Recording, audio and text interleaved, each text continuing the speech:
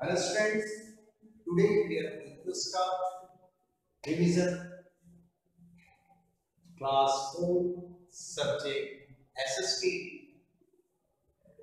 Question is take the correct answers. First question is jute grows in alluvial soil. Now question number 2 email can be sent through the internet. Now, question number three. Which part of India is a peninsula? Answer is solvent. Now, question number four. The Malabar plain lies in the answer is Central Highlands. Now, question number fifth. Marmagao is famous for.